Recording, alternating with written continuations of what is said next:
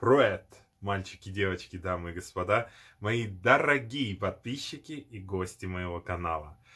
Сегодня я хочу рассказать вам о моем первом парфюме. Очень часто мне по жизни задают вопрос, а как вот вообще к тебе пришла любовь э, к парфюмерии, а, какой первый твой парфюм был, сколько лет тебе было и так далее. Ну, я вот помню себя с самых ранних лет.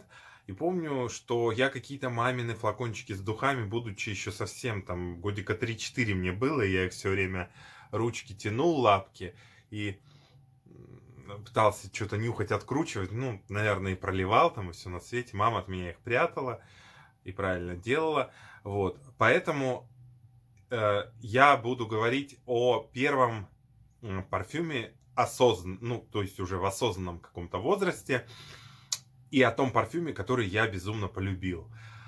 А, кто вот застал советские времена, хотя бы в детстве, вы можете знать, что у обычных, у небогатых людей, коих было большинство, а, у них ну, особо выбора не было. Были одеколоны тройной, шипр, вот, вот, то есть имеется в виду а, то, что можно вот пойти в магазин ближайший и купить, это вот. А, Красная Москва, духи, там не знаю, что еще, в каких еще концентрациях она была доступна. Ну, какие-то такие, ну, ну нет, ну там вот были э, в конце 80-х рижских всяких духов, э, этих Динтерс. Э, подназавезли. Но это уже, ну это как бы женский, а вот именно из одеколонов выбор был, ну не очень. Не, ну опять же, хорошо. Миф, консул, там это все. Кстати, э, спортклуб, да, вот э, стоили по 10, по 12 рублей, не так уж и дешево, кстати говоря. Тем более для ребенка, коим был я. Но, но, все это я тестил, если можно так выразиться. Все это про э, какие-то были у друзей родителей, там я, я и там на туалетные столики, естественно, лазил. Вот миф, как сейчас помню. В принципе, он, ну, неплох был. Мне понравился на, вот, ну, как, да? Но, но я чувствовал, что он возрастной, как бы, что он такой серьезный, солидный. А, а я ребенок, ну, прям совсем ребенок, там, я не знаю, лет шесть мне было. А, ну и, и в общем и целом, что я хочу сказать, если брать одеколоны именно, не духи. Одеколоны, как-то они для меня в советское время, учитывая, что они практически все были советского производства, они несли как будто бы одну ДНК. Вот какие-то они такие, вот как я сейчас уже назад оглядываюсь, торперские, что ли, такие какие-то тяжелые, густые и так далее. Возможно, у меня просто нос еще маленький, детский, не тренированный совершенно, но вот оно было так. И поэтому особого интереса они у меня не вызывали. А, у друзей, у, у друзей родителей, у всех на туалетных столиках одно и то же. И ароматы, ну, ну они отличались, но X-фактора какого-то, что ли, в них не было. Все это происходило до тех пор, пока мне было 7 лет, я пере... мы переехали в новый дом, у меня появились сразу же новые друзья из этого дома, которые мои одна... одногодки были, и мы и в одной школе учились, правда, в разных классах, неважно. И вот у одного из друзей я обнаружил, у папы у его, видимо, одеколон, вот который меня и зацепил, причем зацепил не на шутку. И это одеколон индийский сандал. Причем одеколон, вот это, тот самый из детства, он сохранился, представляете? Ну что, резкость там есть, у нас нет? Или тупим? Как это все получилось? Я, когда его нюхнул, я впал в какое-то эйфорическое, экстатическое состояние. Я понял, что ничего подобного я раньше не слышал. Это раз. И второе, я понял, что мне безумно нравится этот аромат. И я стал у своего друга выпрашивать его, типа, подари. А, ну не то, что подари, понятно, что как драгоценный, ну как вот взять одеколон и подарить. Я стал... У меня фишка была, то есть, э, как я уже сказал, жили мы не богато, и Э, для меня единственным способом получить какую-то очередную свою хотелку, там вот когда до дрожи прям хочется, это было выменить. Вот у меня, я не знаю, у меня такое ощущение, что это прям моя фишка была, то есть которую я внедрял среди своих друзей. Обмены бесконечные. Шило на мыло, там жвачку на фонарик, там и вот какая-то ну, до такого доходило. И я стал приставать, меняю, меняю, бери все, что хочешь, только мне этот одеколон. А, друг не соглашался очень долго, мол, что скажет папа, увидит, узнает, и вообще, и как бы, и это вот прям неделями, по-моему, даже продолжалось, врать не буду. Но в конце концов, каким-то не мытьем, так катанием я выменил, наконец-то, это сокровище, этот индийский сандал. Что я смог найти в интернете про него? Кстати, он сохранился до сих пор. Если сильно прям к горлу носом пытаться прямо из горла вдохнуть, то чуть-чуть такие легонькие ацетоновые нотки слышно, но они легонькие, при нанесении на кожу их практически нет, не говоря уж о том, что через 10 минут абсолютно аутентичный одеколон. Я нашел только про духи информацию, что разработаны они были парфюмером Э, Ниной Павловной Зейской, я надеюсь, я правильно ставлю? Ударение Зейская, а, вот, в 1958, как я сказал, и это все произошло, можно сказать, вынужденно и случайно отчасти. В те времена Советский Союз очень тесно дружил э, с Индией. У нас прям все, города побратимы, Индира Ганди, там, бла-бла-бла, любовь навеки. И, соответственно, по бартеру очень много индийских товаров э, поступало в Советский Союз. А в том числе масло сандала. И этого масла сандала было просто море. А, ну, покуда Украина входила в состав Советского Союза, то а, только в распоряжении Харьковской парфюмерной фабрики скопилось, можете себе представить, 5 тонн масла эфирного, натурального. Вот. И, ну а куда девать? Оно же, ну, срок годности там у него какой-то есть регламентированный и так далее. И свыше, свыше поступил указ, а, как это, освоить, как вот у нас любят бюджет осваивать, освоить, в общем, это масло, пустить его, ну, на те или что-то придумать, значит, там, чтобы вот столько масла ушло. И вот Нина Павловна, она э, говорит, я подумала, что-то такое в голову мне пришло, что-то восточное, то есть сделать что-то такое восточное, э, примерно как наши советские люди бы могли представлять себе вот, далекую Южную Индию. И села, говорит, очень быстро написала эту формулу, и оказалось, что это шедевр, просто шедевр. А, сразу же стал, а, стали эти духи безумно популярными среди советских женщин, и даже вроде как у Аллы Пугачевой любимыми они были в свое время, и на экспорт их там тысячами, десятками тысяч флаконов якобы отправляли. А, вот. И чуть ли не конкурировали с Красной Москвой они в то время. Красная Москва это что? Это икона. Икона была, икона остается. Но при этом про одеколон именно я в интернете ничего особого не нашел. Я только знаю, что он на всяких э, площадках вот по винтажам, там, знаете, э, продается до сих пор, причем стоит копейки, что удивительно для меня. Потому что, ну, можно предположить, да, что в одеколоне в этом, вот прям с такой же этикеткой точно, можно предположить, что тут тоже много эфирного масла сандала.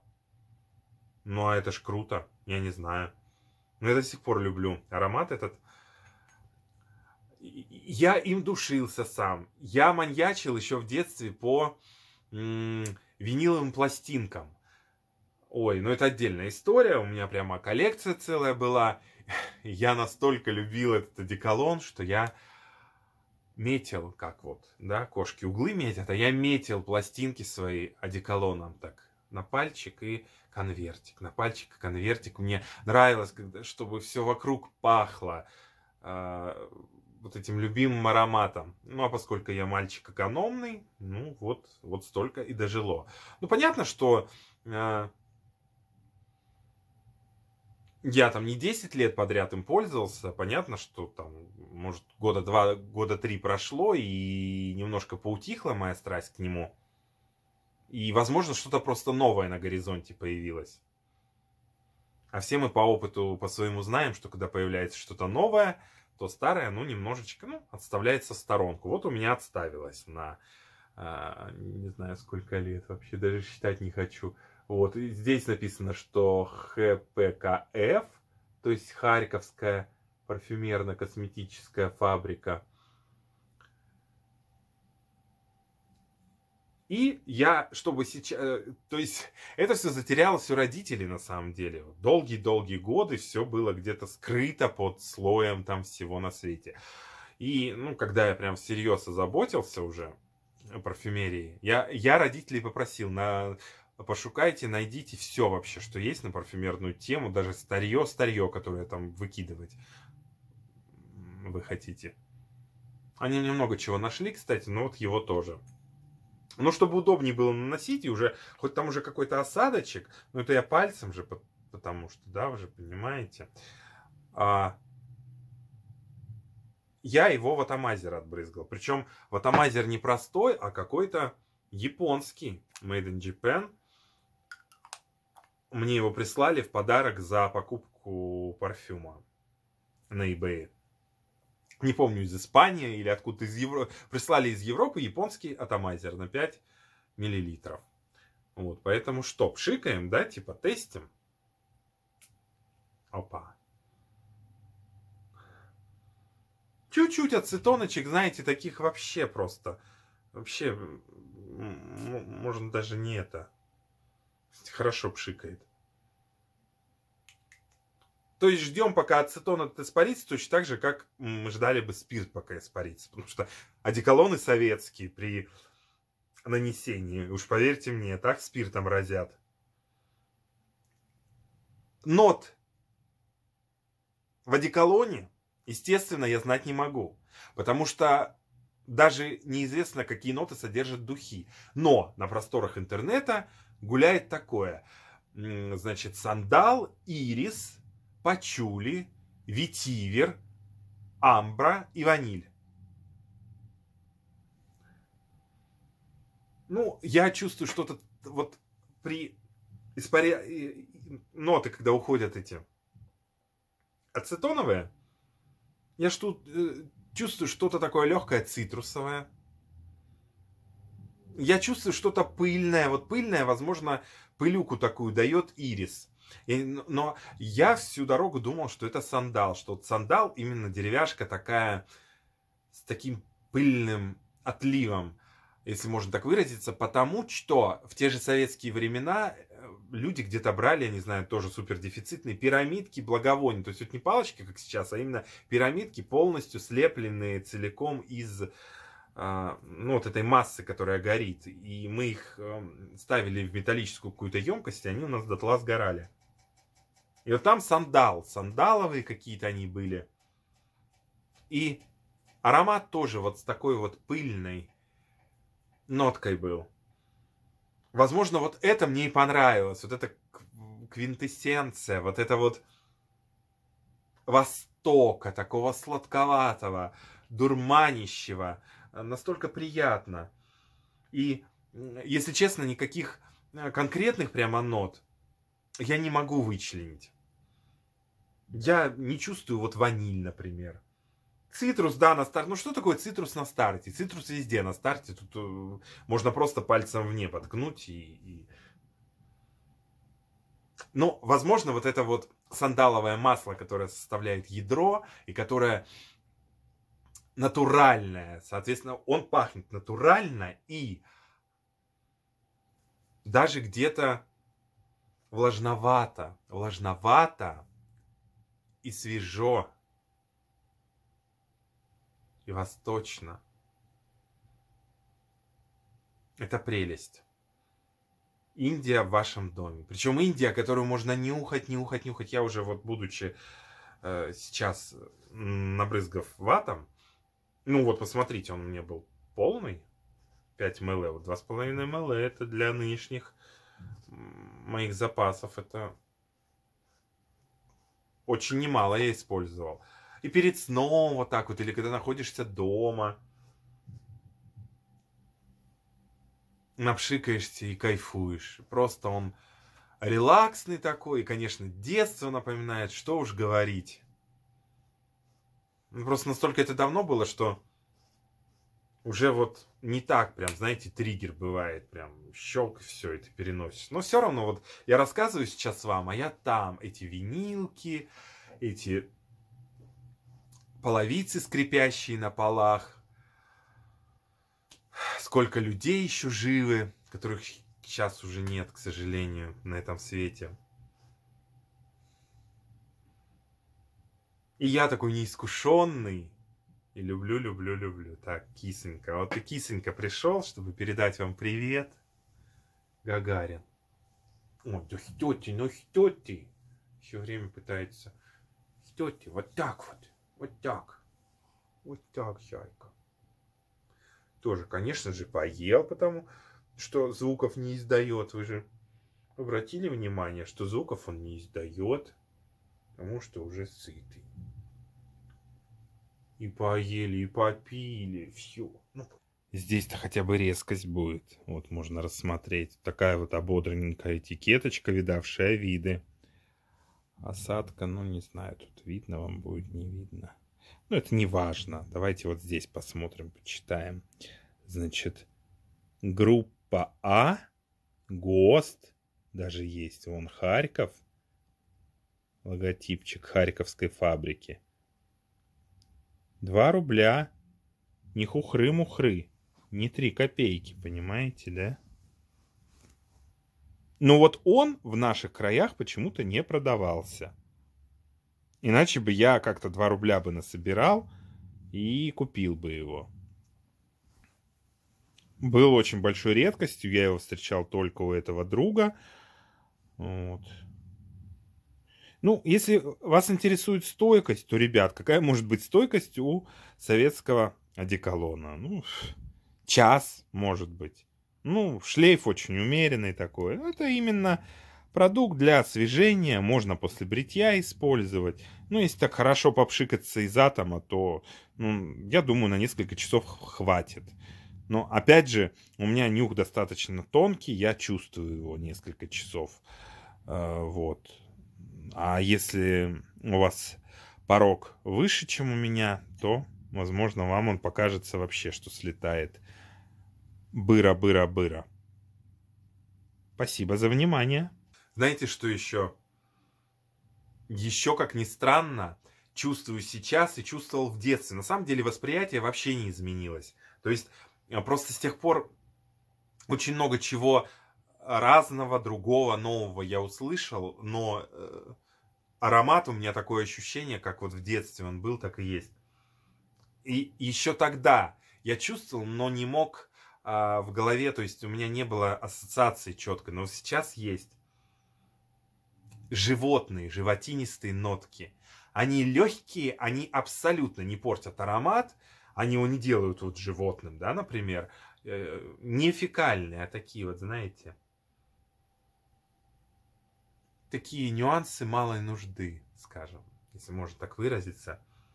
Они именно искусно вплетены в таком следовом количестве, они чувствуются, я их чувствую отчетливо,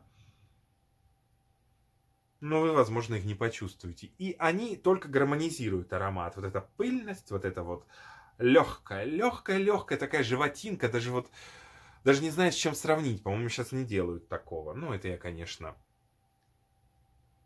перегнул, наверное, делают. Прелесть. И, кстати говоря, вот, несмотря на то, что я попробовал много чего, много всего, ничего похожего на этот аромат м-м, я не назову. Я не скажу, что он как тот или как этот. Ребят, я надеюсь, что мое видео было для вас интересным, чем-то полезным. Подписывайтесь на канал, дальше будет много интересного. И до новых встреч. Пока!